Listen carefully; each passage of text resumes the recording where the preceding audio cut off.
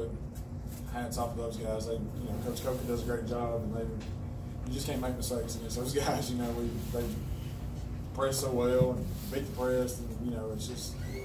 Um, they do a good job. And if you ever make a mistake, they capitalize on it. And you know, we got behind early, and we've done it a lot this year. And, uh, been able to overcome it, overcome it this year. I mean, up to this point, you know, it's hard to do against a team like that quality. So, you know, we dug that hole. We just can't get out of it. Just talk about the third quarter, if you will. I mean, you guys seem to be getting you know, more confidence. Well, we got some confidence. We went to the zone, which we didn't, you know, it seems crazy against a team like that that shoots it that well. But uh, went to a matchup zone and kind of just give them a different look. I don't think they see it a whole lot this year. And, you know, we thought, you know, it got, got us back in it. You know, we didn't didn't rebound well out of it, and that kind of, you know, I think that kind of hurt us a little bit there, you know, when they got it back up. But, you know, it was good run, couldn't it? But we just, you know, couldn't overcome. We got too far behind. So. Talk about the pace of the game you wanted to have against against Plainview.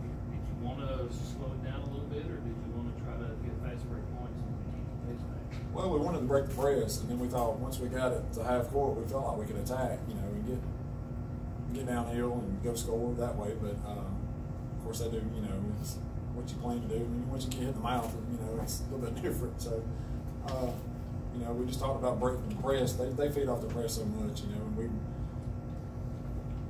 Our, our game plan all year is, you know, we, we like a game in the 50s and 60s, you know, they like it in the 70s, 80s, 90s, you know, they like to score a lot. So I would say, you know, we would want to maybe slow it down a little bit, but, uh, you know, we felt like we could attack off if we could beat, beat the press and, you know, we just didn't capitalize on that early. So. When you three, you guys talk about facing, finally facing the way they shot the ball. You, you, you watch on film, but now you experienced it live. What was it like playing a team that whenever they needed to have something happen, you brought the game back, they hit a three and just got back to where they needed to be? What was it like playing against that? Um, it was tough, you know. Um, you know, you see it all the time. You know, they hit 25 threes, they hit 23 threes, they hit 20 threes. They put up 104 on this team, 105 on that team. And, you know, when you finally get to see it and you make that one mistake, it's, it's three. And uh, that was tough, but uh, hats off to them. They're, they're a good team. Alex, what do you think about how they shot the ball? They shoot extremely well. You know, we just thought if we could. I don't know how many they hit. I feel like it was as many as. 11. Yeah. It was stuck a little bit. Just, Well, I mean, they banged them right off the bat in the first three of the threes, and then you got up to four, and then they hit two really important ones that third quarter that kind of broke your, the momentum you were in that fourth. So they shoot it really well. I don't know if you ever played against a team that shoots it um, no, not not really, not that good. But, uh, Well, the thing about it is, just one three, 10, 11, 12, they all can do it. You know, it's not like you can say, well, one, one or two guys, well, let's, you know, let's guard this guy or that guy. It's, if he can put any of his 10, 11 guys can shoot it like that, and that's what makes him so dangerous. So, and like Si said, if you can make up one mistake, you know, it's, they bury it and you're in a hole. So, What's it like game planning for, for that situation? I mean, really it has to be a headache. you know, we just, you know, when D'Lo in the game, we, you know, we, it's a, he's a matchup problem. You know, it's it's hard for him to step out and guard people. You know, and uh, but we thought he did a good job. We felt like we could make him drive at him. You know, that's why we wanted to send the defense. You know, and uh, make him try to drive at him. And you know, he does get such a good job protecting the rim. So it's hard to game plan for somebody that shoots it that well. You never know. You know, like I said, some nights they hit twenty, and some you know, tonight they hit eleven. You know, so. Speaking Talk- of D'Lo, he blocked a bunch of bunch of shots, more than it says on the, the stat sheet there. I think. Yeah, I think Talk it says he about has. I think it says he had four. I felt like he had four on one trip. You know? uh, Talk a little bit about his uh, presence tonight. you know, I, we talked about it last. I think last summer was after we played uh, Hanceville. There, and he means the world to us. I mean, like these guys know. You know, if he, your man, if, he goes by you, D'Lo send him out there wait for blocking. You know, and he's, yeah, he affects the game in so many ways. And you know, like when we talked about it, he one game he didn't even shoot the ball. You know, I think it was sacks in the air tournament. He didn't even attempt a shot, but you know, he affects even Coach Miller Sacks was talking about how he, he changed the game. You know, so he changed. You know, he affects it so much. You know, rebounding and defensively. And it's nice to have him. You know, we're really going to miss him next year. They did such a good job of switching on the screen seamlessly. Did that take away some of the set plays you guys had, the way they were switching? Well, they scout so well. I mean, Coach Coach Coker, I think he's probably got every game film we've you know we've played, and uh, they'll call out our plays. You know, we call a play and they call it out. You know, they, they probably know our plays better than we do. You know, and that's great, good coaching. I mean, they do a great job. They do a great job in film session, and uh, um, but we felt like we could still run some stuff. You know, we did. We felt like we got some shots. We just, you know, they didn't fall for us early, and we got behind, and you know, um, they do such a you know good job switching everything and playing such good defense. You know, they're they're not very big. You know, they're physical and they play hard and they switch everything and they match up real well. So. And they're still able to cover the post. Oh yeah, yeah. I mean, Milliken, he does a great job covering the post. You know, he's outsized in a lot of games, but he's you know he's so tough on inside guarding people. So. It's like fast twitch rhythm is so important to their offense. That it, what, how did the matchup zone serve to kind of slow that rhythm down or make them think a little more?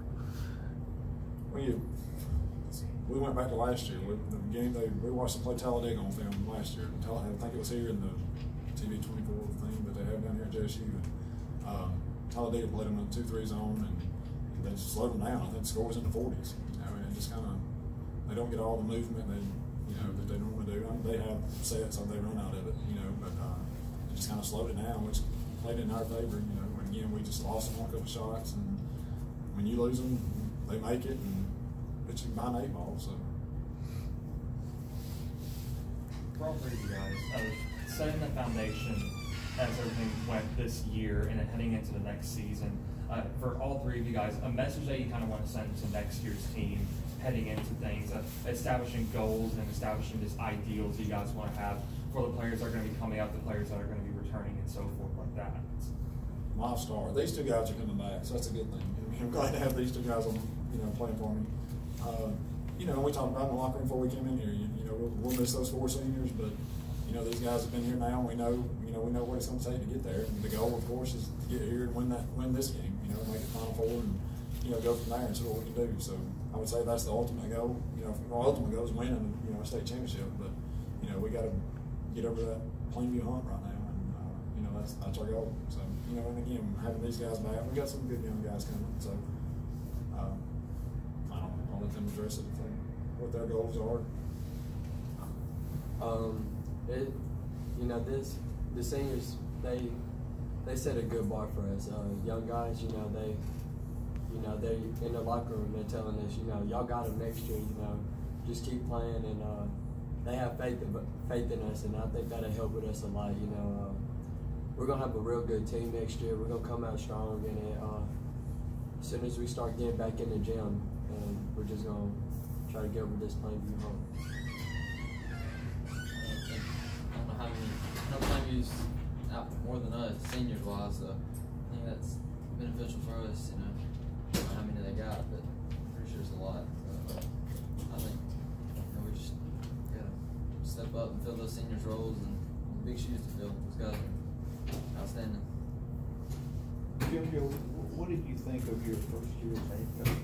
Thirty minutes at the end of your first season as head coach. That's a fun ride. You know, that's what Coach Glover it up in there a while ago. You know, it was fun. That's the best thing about it was these guys and our, the whole team. You know, they're fun to be around. You know, they're great guys, great teammates, great kids, and uh, you know, I think of them all as my own kids. You know, and I told them, you know, anytime they need me, I'm there for them, and you know, it's a great ride. And then, you know, they've set a high bar for you know, it's my first team, I'll always remember, you know, the seniors, of course, and the whole group. You know, it's it just it was a really, really fun bunch, a really good fun year this year. Would you have thought you gotten this far when it started? And it started a week after football, where you didn't have a whole lot of time, but, um, and then they come, the big long winning streak and all that stuff. We had Better a- than expectations? Yeah, I mean, I think we felt like we could be here. You know, I know these guys felt like they could be here. So, you know, um, felt like we had a shot. You know, and I don't think we we felt like we had a shot to win this one today. You know, we really believed it. And we, you know, we cut it to seven there and we're going to fourth. We thought we were out there and could, you know could get back in it. So, um, as far as what we thought going into the year, you know. I don't know if we exceeded expectations. I guess we did probably did. I don't. If you tell me we were twenty three and six, you know, but um, it was a good run.